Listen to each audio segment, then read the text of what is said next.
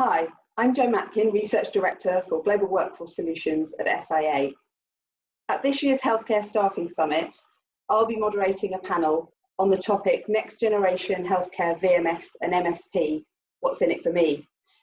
Join me and my panel of experts from the world of MSP and technology as we examine why clients are continuing to choose this model, what's in it for them, but more importantly, what's in it for you as a staffing supplier and how you can be successful working and operating within this ever growing model of service.